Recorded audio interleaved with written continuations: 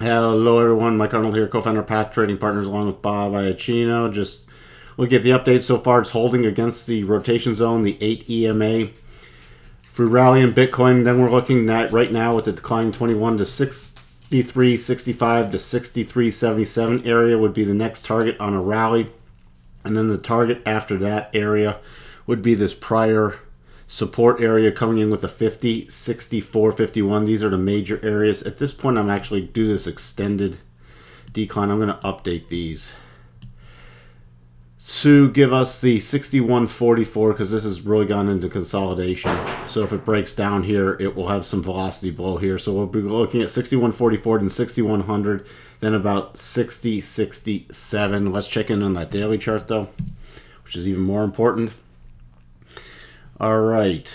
So on a daily chart, the key level is about the 64.46 to 64.32, right in here. Prior support here, support here. Now the declining 8 and a prior Gann level right there. That's the key level. If we break out of this little consolidation and get above the 21, let me switch back to 4 hour.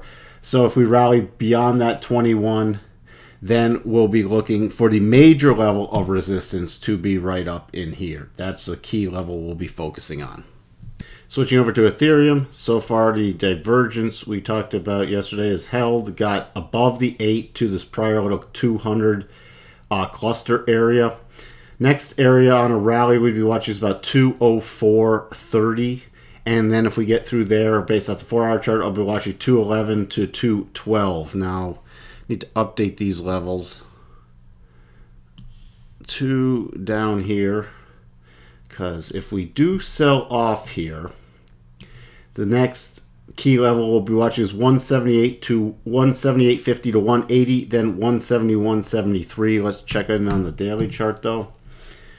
So daily chart major area on the daily chart is this 211 area. So that's going to be very key. So that 211 area, looking back the four hour chart, is right where that 50 is. So that's really, this is a very key area. Do not ignore it because we have the four hour price action and the daily price action lining up. So if you've done bottom picking or did a divergence trade or did, did something, you should already be moving up your stop uh, because you're still against the rotation zone. But then if it does rally to here, I'd take something off the table or definitely aggressively move up your stop. That's going to be a very key level.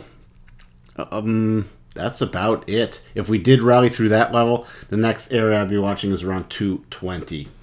So that's what we have for you on this quick Ethereum and Bitcoin update. We'll talk to everyone soon. Bye for now.